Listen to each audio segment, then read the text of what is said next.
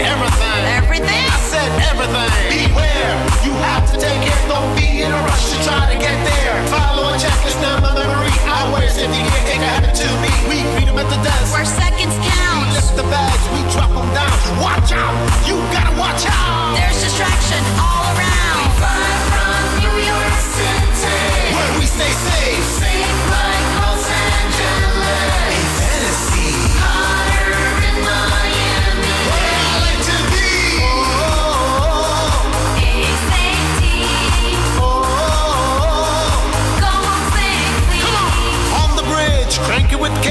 with the belt, you gotta beware. Out here, working all night, don't do back to back, cause that ain't right. Fatigue can happen day and night, so get your sleep and you'll be alright. We push, don't pull it ease, we stretch it out, we bend our knees, focus.